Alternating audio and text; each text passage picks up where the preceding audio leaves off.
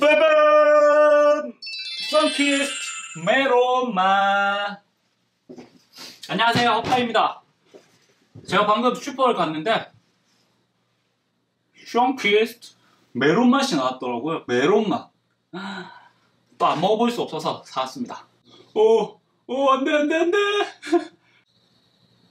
안녕! 나는 허팝이라고 해 그럼 유리잔에 썬키스트 메론 소다를 넣도록 하겠습니다 봉이 해제 3, 2, 1 오, 거품 올라오는 거 보이세요? 자, 찰찰찰찰찰찰찰. 오, 오호. 와, 색깔이 이쁘다. 오, 냄새는 메로나 아이스크림 냄새입니다. 먹어볼게요.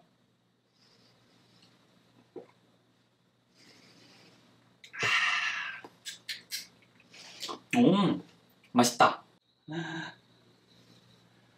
어, 색깔도 이쁘고 탄산도 적게 들어있어요. 그래서 먹기에 불편함이 없어요. 자, 그럼 짠!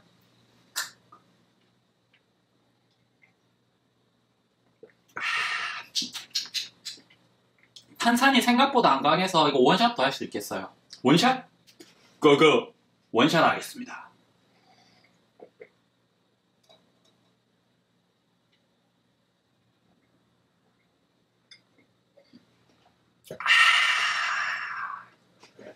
짠! 탄산도 엄청 강하지 않기 때문에 마시는데 목이 따갑고 이런 것도 좀 덜해요. 네, 그래서 좋은 것 같습니다.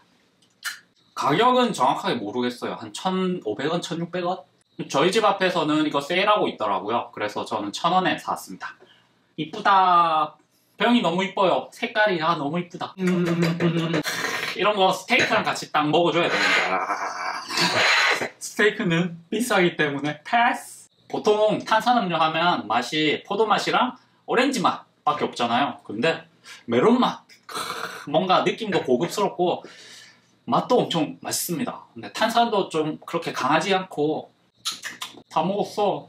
이게 메론 소다 맛인데요. 메론 소다 맛 말고 자몽 맛도 있더라고요. 근데 제가 자몽은 별로 안 좋아해서 네, 이것만 사왔습니다. 그럼 이만 바이바이 바이바이